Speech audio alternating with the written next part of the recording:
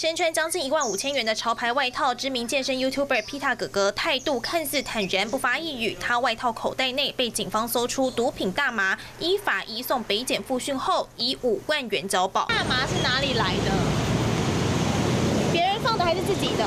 多次面对记者提问都没有做出回应，但他向警方供称，不知道大麻是谁放进去的。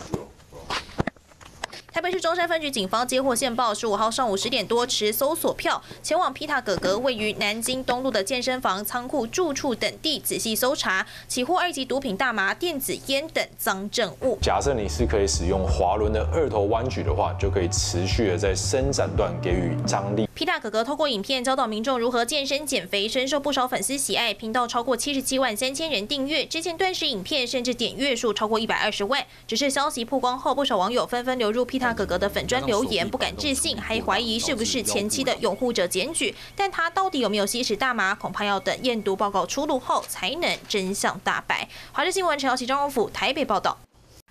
Hello，我是雷亚，想要抢了先掌握最及时的新闻资讯吗？赶快订阅、按赞、开启小铃铛，锁定华视新闻 YouTube 频道。